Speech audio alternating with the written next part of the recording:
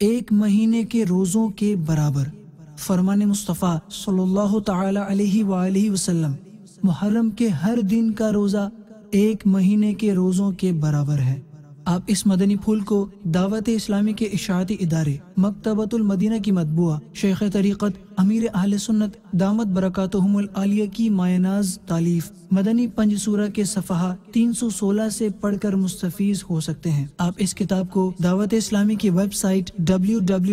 Dot دعوت اسلامی dot net سے اردو کے ساتھ ساتھ مختلف زبانوں میں بھی ڈاؤن لوڈ کر سکتے ہیں۔ آج ہی اس کتاب کو مکتبۃ المدینہ کی مختلف شاخوں سے طلب کی کیجیے نیز شادی غمی کی تقریبات، اجتماعات، آراس اور اجتماعات میلاد وغیرہ میں مکتبۃ المدینہ کے شائع کردہ رسائل تقسیم کر کے ثواب کا ڈھیروں خزانہ حاصل کیجیے دین پہ قربان ہو گئے، کربلا والے۔ دین پہ قربان ہو گئے